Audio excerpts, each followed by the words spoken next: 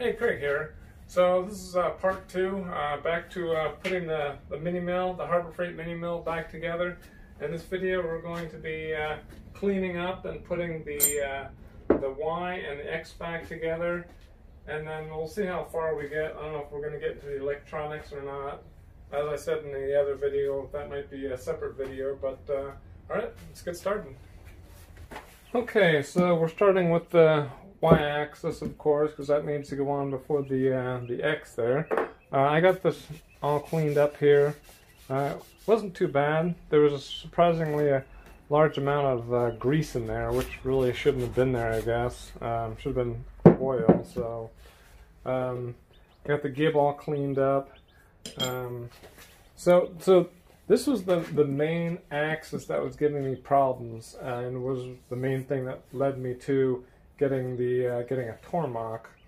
Um, the uh, the x-axis was uh, I don't know when I looked at it it was like wobbling so I sent it back to CNC uh, Fusion or Fusion CNC whatever it was called and um, they sent me a new one I mean I don't know if it was something that they had done or maybe I had bent it while I was cutting steel too much. I'm not sure what the, what the uh, what it was, but um, I just went through one of my uh, my old videos about how to put this back together, so I'm not like wasting a bunch of time putting it together. Um, so, all right, well, I think I'm going to start off by putting some some oil on first. Um, to make sure it's oiled up good here before I put it together. Some oil here where it counts here. Oh, that's the wrong side. That's the that's the X. Um, get it nice and oiled up. All right, now I'm going to go ahead and put the uh, the gib on. That goes with the uh, the holes facing towards the screws there. I've already backed them out, I think enough for it to grab.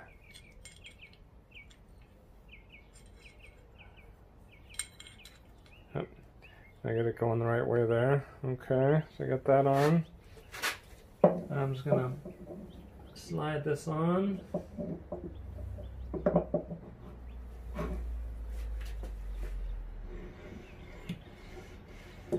Okay, that slides pretty smooth there.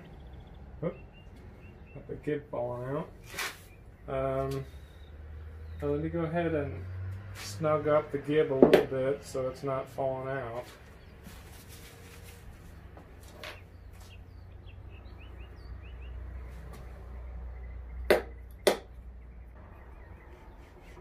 Okay, here we go.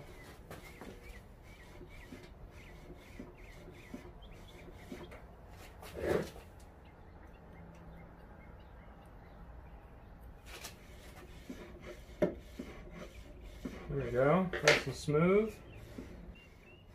All right.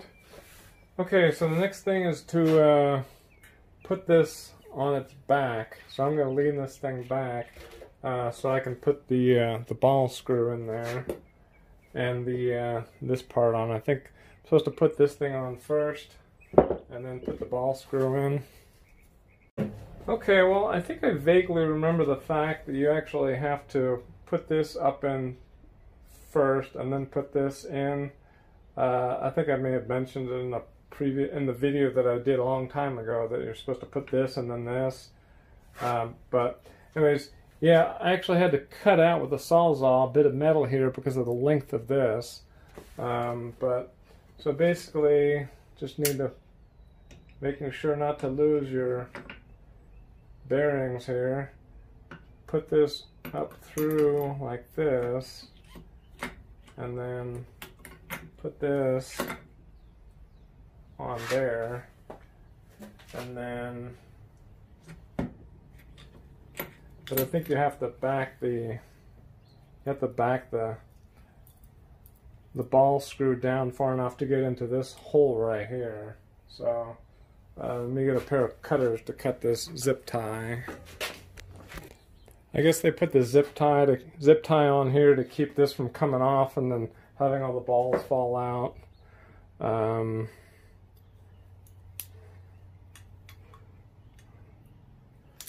so go ahead and cut that off.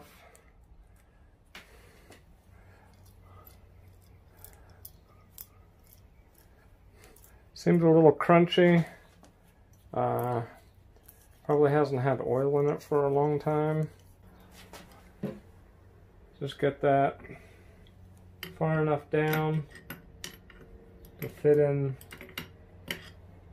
there. I guess they had to make it this long to get this ball nut to fit all the way down to the end or something. Uh, so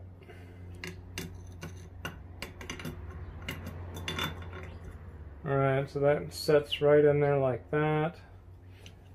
You gotta make sure that you line this thing up well so it doesn't bind. I think that was one of the problems I was having before is getting this set screw in the right place so it's on the right angle. It's kind of a little tricky, but um, so I'll go ahead and put the screws in here to keep this from moving around. I'm not going to cinch that down completely just yet. Just uh,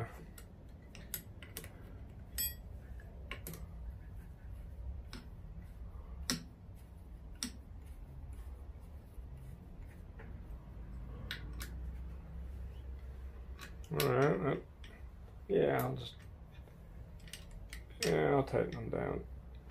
Tighten that.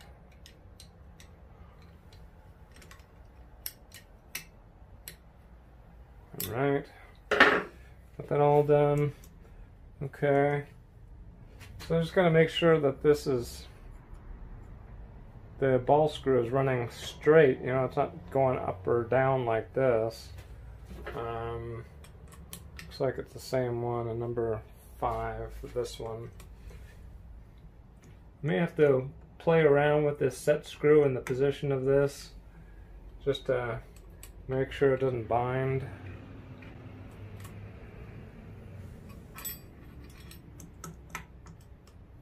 There's like an eighth of an inch of play going back and forth this way.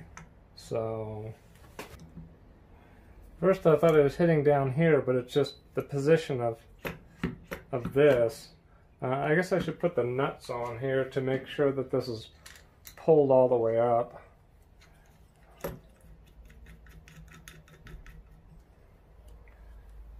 I'll just make these finger tight and worry about tightening them down fully later. Looks like once you get these tightened up finger tight here, there's less play this way. So you got a better idea of where it can be. And just try to figure out the best place for it before tightening it up uh, to keep it from binding when it's moving. Well, I'll probably play around with this for a little bit and try to get it uh, moving freely. Okay, I finally got it moving uh, pretty smoothly now. What I ended up doing is I just ended up sticking one of the uh, the Lovejoy couplings on here. Uh, you know, I was wondered about that Lovejoy couplings. Uh, it actually it's called Lovejoy because I guess that's the brand or something. It said Lovejoy right there. um, so what I ended up doing was um, I just kept putting more oil on the ball nut there, running it up and down. I actually left the uh, the set screw back in there that connects this, um, you know, to the uh, to the axis. I left that a little loose, and I kept running it up and down until it was uh, relatively smooth, and then I tightened it down. You know, so so it had some play to like kind of adjust itself. You know, and then I tightened it down and ran it up and down a couple more times, and that seemed to do the trick there. Um, it still feels a, a hair crunchy. Um, it may just need to have more oil worked into it or something, or maybe there's some chips in there or something. Um, but it seems to be real smooth towards the bottom.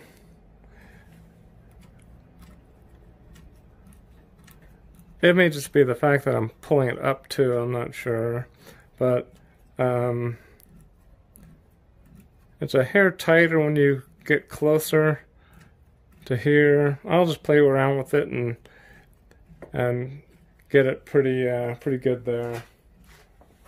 All right, well, um, I guess the next thing to do is to uh, put the uh, the cover on here. Um, there's uh, this is the uh, the plate, the adapter plate for the stepper motors. Yeah, dust it off a little bit here. Um, all right, so there's uh, this takes six screws. Um, two screws are specifically just to connect this plate to the uh, this. I don't know. This is like a, a C channel or something like that. They didn't even have to like machine it. I think they just cut it and machined it flat and drilled and tapped some holes in it. Um, the other two screws are actually for the stepper motors, but two of them actually go into this. So um, the screws just pass through this plate. So we'll just tighten that up. Kind of loose there. And then uh, take the other screws out here. Put the uh, Lovejoy uh, rubber cushion thing, whatever that is. Put that in there. And then uh, this is the one that takes, uh, oh, I think that's the number, eighth inch.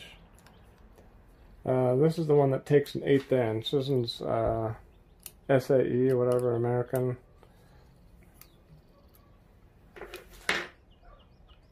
We'll uh, raise it up a bit so it's not touching the nuts directly. Um, we find the uh, y-axis here. This has already got the other side of the Lovejoy on here.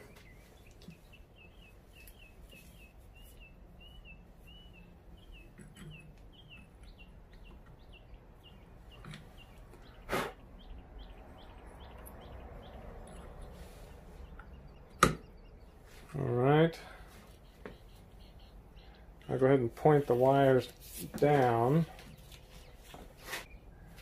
And then uh,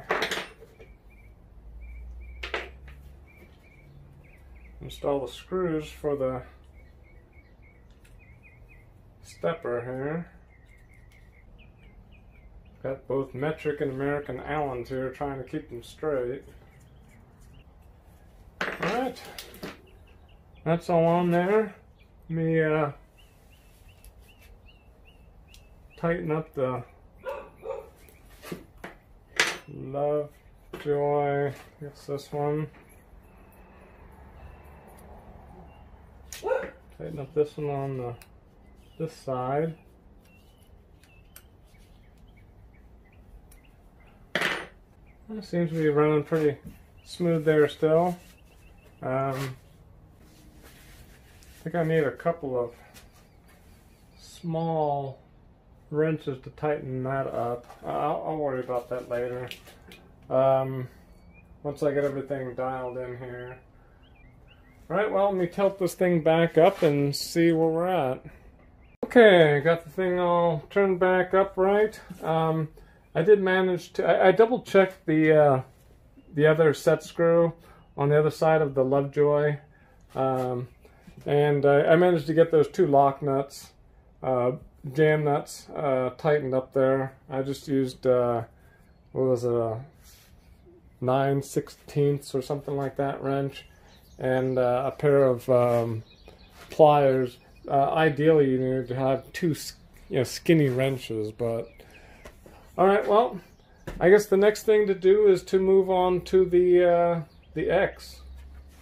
Okay, well, it looks like that's all we have time for on this video. Uh, I guess this is probably going to end up being uh, like a four-part video. Um, the next video, we're going to do the uh, the X-axis, um, put the uh, the way covers back on, and we'll see how that goes. We'll probably go into the fourth video, which is the uh, the electronics, um, and uh, get all the wires hooked up to the computer. I got to find a monitor, and see if we can get this thing uh, alive. So, all right. Well, thanks for watching. Um, if you like this video, I'd appreciate the thumbs up. Uh, feel free to leave any comments down below. Uh, if you'd like to subscribe, there should be a subscribe button. Uh, Patreon, if you'd like to support us there, there should be a link here someplace. Some other videos you might like to watch. And as always, thanks for watching.